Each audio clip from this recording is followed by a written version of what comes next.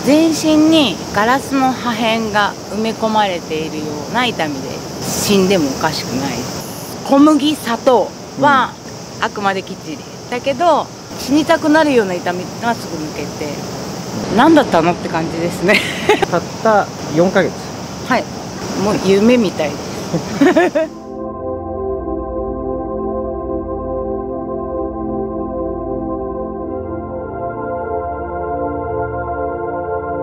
にちは。自然中クラブの小崎です、えー、今回は繊維筋痛症を奇跡的に克服された久保よ美さんのインタビューをお届けしたいと思います。で、まあ、自然中ではですね様々な方がですね、えー、まあこの病気をね克服したいということで、え動画をご覧になっているわけなんですけどもその中でもですねえ非常に難病と指定されている繊維筋痛症えこちらのですね、え完全に痛みを克服されたというね、え方がいらっしゃいましたでとにかくこの繊維筋痛症というのはですねそのもうただ単に服がこうやって触れるだけでもですねそのガラスの破片がこうえぐられるような痛みであったりとかですね、まあ、よくですねその血管の中にガラスの破片が流れてるほどですねもう全身がもう非常に強い痛みを伴うという難病なんですね。でだからそのあなあまりにもですねその痛いということで痛みからですね自殺をするっていう方もいらっしゃるぐらいの、えー、非常に、えー、かなり、えー厳しい病気なんですけれども、えそちらからですねその完全にそのこの自然治療をご覧になっていただいて実行していただいてでそれでですねたった4ヶ月でその痛みからですね解放されたというですね、え久保よしみさんという方がいらっしゃいました、えですのでこのね、え久保よしみさんの動画、えまずですねご覧いただきたいと思います。どうぞ。はいえっ、ー、と東京都内在住の、えー、48歳久保よしみです。えっと、基本的に4つ疾患持ってまして、うん、喘息、うつ病パニック障害、えー、筋繊維痛症。はい。まあ結局仕事もできないような状況になりました。はい。はい、で今障害年金という状況です。状況と気力もないし、うん、眠れないし常に痛いし。常に痛いと、はい、もうずっと痛いのに苛まれている状態。です、えー、えー、ちなみに久保さんはどういう症状でしょうえっ、ー、と全身に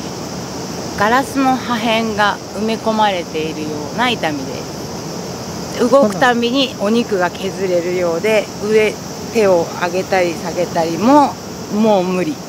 寝てるも起きてるも無理。うわ。涙もダラダラ鼻水もダラダラよだれもダラダラうんうんってやってるしかない状態。もう起きた瞬間から最悪っていう気分。わかりました。えっ、ー、と今年の1月後半にあ1月前半か、はい、に町医者に紹介状を書いてもらうために血液検査をしたらそこで思っても見ないコレステロールに引っかかって、うんうん、もう今死んでもおかしくない。と言われた言われまして調べたら多分関連で動画で上がってきて、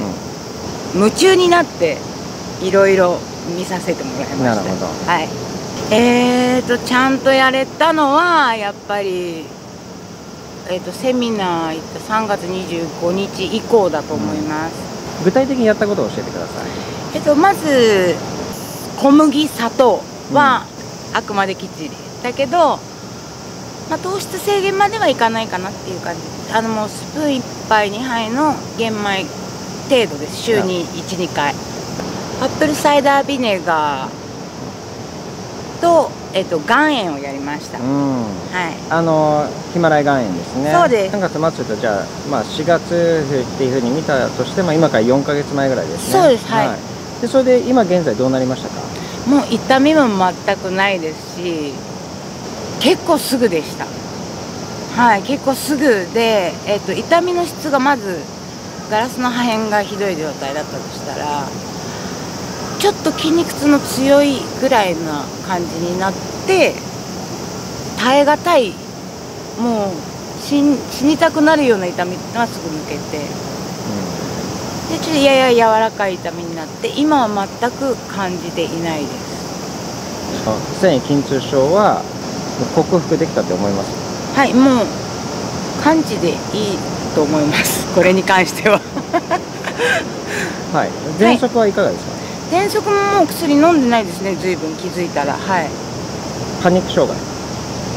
もう出てないです。満員電車乗っても出ないです。一番私が出やすいのは静かな場所なんですけど出ないです。うつ？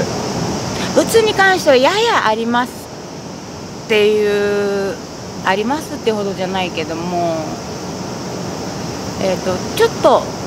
だる気だるさがあったりとかその程度かなっていう感じもうひどい頃から比べたらもう全然楽です。何だったのって感じですね。今までこんな長い時間。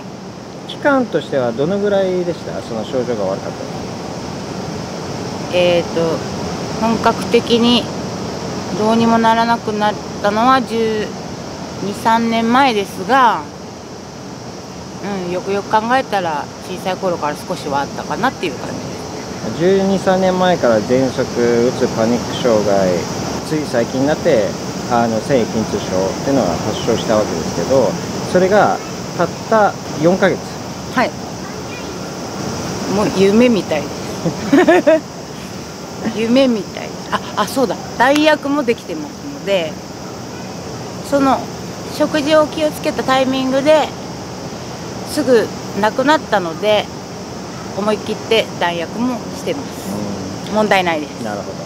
行動に起こせてない方で症状がある方がいらしたら本当にあっという間に治りますのであのチャレンジする価値はあると思います、うん。あのなので怖がらずにやってほしいと思います。自然治療出会えてよかったでしたか？本当にもう命の恩人だなっていうぐらい思ってます。はい。わかりました、い。ありがとうございました。はいありがとうございます。はい、えーいかがでしたでしょうか？まあ本当にね、えー素晴らしいですね。その、まあ、うつであり、パニックであり、喘息であり、そして繊維筋痛症というですね、まあもう様々なですね、えーまあ症状で悩まれていたわけなんですけども、もう本当に今となってはですね、その喘息はない、えーでそして、えパニック障害がない、えそしてうつはま若干あるけどもということなんですけども動画をご覧にいただいたらですねもうあの明るさでですね本当にうつなのかなっていうふうに感じるわけなんですけども、まあ、本人はまだ若干残っているとは言っているわけなんですが、えでそれでですねその繊維筋痛症そのあの厳しい痛みですね、えそれからですねもう全くと言っていいほどですねそのもう解放されてでも痛みもないということで、え今はですねもう完治したということで捉えられているわけなんですね。で実際にやっていただいたということがですねそのまあ、えとにかく、えーグルテン、えー小麦を全く食べないっていうことですね。であと砂糖を全く取らないっていうですね、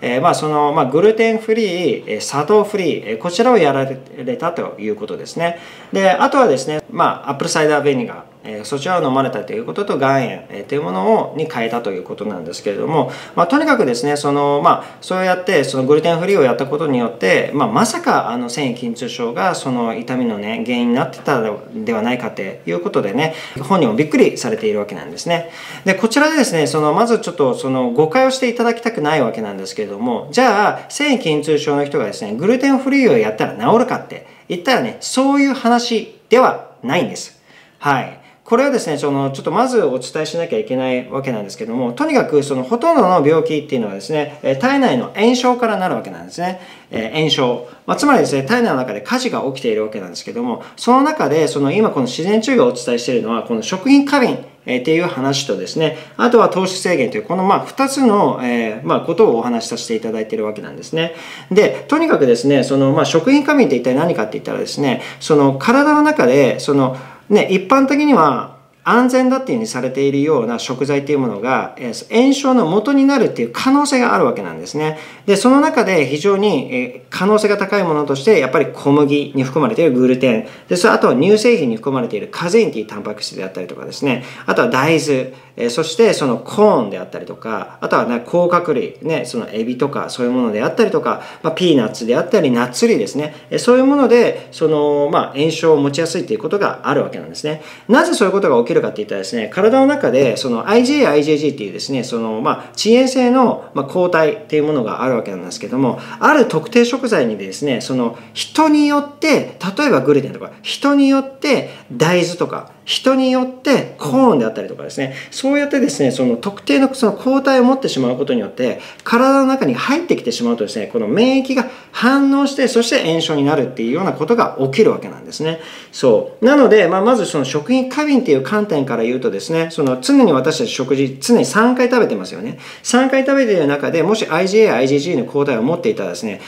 常に常にその炎症をもたらしてしまって、それが結果的にですね、あの、まあ、神経炎症である、まあ、この繊維、えー、繊維筋痛症になったりとかですね、あとは他のその病気の問題っていうものが起きたりするということですね。で、あとですね、その糖質制限で言ってるのは何かって言ったら、もうキーワードはインスリンになるわけです。インスリンっていうのはこれ膵臓から出るホルモンなんですけれども、え、血糖値を上げるような要素が入ってきた時にそのインスリンというホルモンが出て血糖値を抑制させようとするわけなんですね。ただその糖質が過剰に入ってきてしまうとですねインスリンをあの爆発的にその分泌することによってですねこのインスリンが出てしまうとですねもうかなりその体内のですねホルモンをかき乱してしまうぐらいなその、まあ、ホルモンになってしまうわけなんですね。だからインスリンが大量に出てしまうとこれがですねその血糖値の乱高下が起きると精神的な問題が起きて起きたりするわけなんですね。なので、まあ、今回で言ったらその、まあ、パニック障害であったりとかですねそのまあ、あとはそのうつっていうものもそうなんですけどもその過剰なその糖質が入ってくることによってそういう精神的な問題点も起きる可能性があるっていうことですね。でさらにその、まあえグルテンっていうあと糖質っていうものはその腸内環境をめちゃくちゃ悪くさせるような要素になるわけなんですね。でそのまあ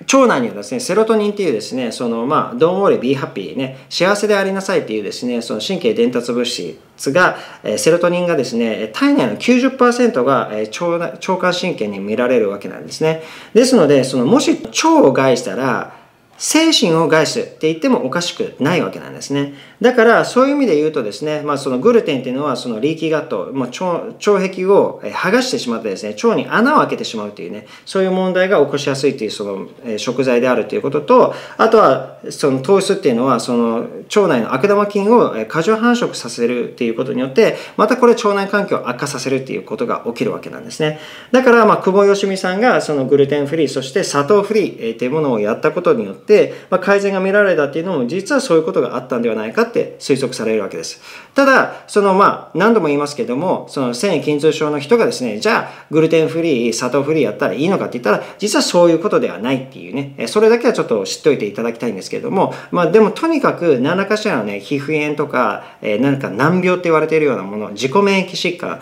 で、そういうものが見られるときは、そのとにかくお勧めするのは、穀物乳製品フリーダイエット。えこれをやることをお勧めします。で、穀物、乳製品フリー。で、それをやることによって、もし体調が改善されたっていう場合は、そのこの穀物乳製品に対してですね、そのまあ IgA や IgG、えー、抗体を持っている可能性があるわけなので、えー、とにかくですね、3週間だけ、えー、そのこの穀物乳製品フリーダイエットをやってみてですね、でその4週目、えーね、5週目ずつにその、まあ、1週1食材を食べてみてその体調がどうなるかっていうね変化を見ていただきたいと思うんですね。そのやり方についてはですねこの動画の下にですね、えー、とリンク貼っておきますのでぜひその動画を見ていただいてですねその、まあ、このね、えー、炎症抑制ダイエット、えー、こちらのねダイエット方法について参考にしていただければと思います。まあ、とにかくですねその、まあ、今現在あるその自分のその症状っていうものね、えー、っていうものはその過去のやってきたそのツケっていうものは必ずあるわけなんですねただその、まあ、繊維筋痛症みたいですね難病って言われているものも、えー、実は克服することが可能なえ場合もあるわけなんですね。なので、ぜひともですね、その諦めずに、ね、どんな病気でも、え自分のね、体が自然治癒させるっていうね、その能力を持っているって信じていただいて、やっていただければと思います。はい、えー、それではですね、今回は繊維筋痛症を克服された、久保よしみさんのインタビューについてお伝えしました。えもしね、この動画が良かったと思われたら、ぜひ、え高評価ボタンと、あとはですね、えチャンネル登録されてない方は自然治癒のチャンネル登録パシッとお願いします。で、またですね、その、まあ、性筋痛症とかね、え難病に悩まれている方いらっしゃったらですね、ぜひこの動画をシェアしていただけると大変嬉しいです。ご視聴ありがとうございました。